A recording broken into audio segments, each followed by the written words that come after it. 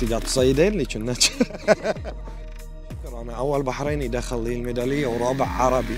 تهاوشت ويا الدكتور أصلا اللي قال لي إن ظهرك مكسور وكنت واصل لمرحلة شي. مدي يدي عليه بس أنا ما أقدر فقمت أصيح.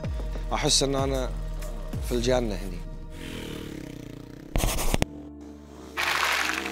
جولتنا اليوم في صخير وقصة شغف مرتبطة بمواجهة الخطر. الموت في كل سباق رالي احتمال موجود لكن في نفس الوقت الحافز والمتعة.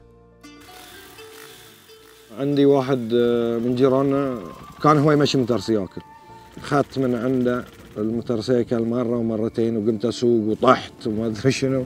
تعلقت في السالفة خلاص صارت هي الشغله الوحيدة يعني اللي تونسني وتفرحني. موضوع إن أنا أحب المغامرة هاي من زمان عندي الموضوع. أنا أحب التحدي حتى في حياتي الطبيعية. أحب نسبة الخطورة. آه، أحس إن شخصيتي هني في هاي الأماكن.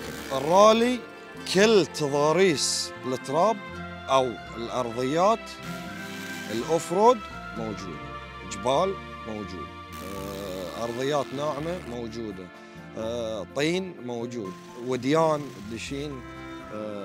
تصعدين جبال شنو في بالك آه، من الأرضيات الرملية؟ موجود. الرالي بايك وزنها تقريبا من 220 ل 230 كيلو. فأنت قاعد تعافرين ويا شغلة سريعة وقوية وثقيلة. أسوأ إصابة آه، كان في داكار 2020 صادني كسرين في عمود الفقري. طرت عن الموتورسيكل بس آه، ربك كتبها الموتورسيكل لحقتني كان مو راضي إن أنا أوخر عنها فياتني ورقعتني في ظهري. فضل من الله. وصلت للنهاية. ويوم وصلت آه، ركبوني سيارة الإسعاف. تهاوشت ويا الدكتور أصلا اللي قال لي إن ظهرك مكسور وكنت واصل لمرحلة شي إن أنا خاطر امد يدي ع- امد يدي عليه بس أنا ما أقدر فقمت أصيح. من القهر اللي فيني قمت أصيح. إن أنا بطلع من السباق. ربي لك الحمد والشكر. أنا أول بحريني دخل لي الميدالية ورابع عربي. والحمد لله قدرت أجيبها بس أنا خسرت سنة. أتمنى انه يكون في لنا اتحاد خاص فينا. وإن شاء الله إن الناس اللي تكون مستلمة الاتحاد ذي ناس فاهمة في المجال أو لو يكونون مثلا متسابقين قدامى إن شاء الله الله يبلغني وأقدر أوصل على أساس إن أنا أصير مدرب في ذي المجال وأقدر أفتح مدرسة. الجبال الرامله ذي اللي ما تشوفين شيء أنت بس تراب وأماكن مرتفعة بس.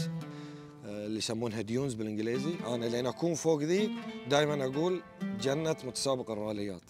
أحس إن أنا في الجنة هنا رغم أن بدأ سباق الدراجات النارية بعمر الخمسة وعشرين إلا أن سلمان قدر يثبت نجاحه.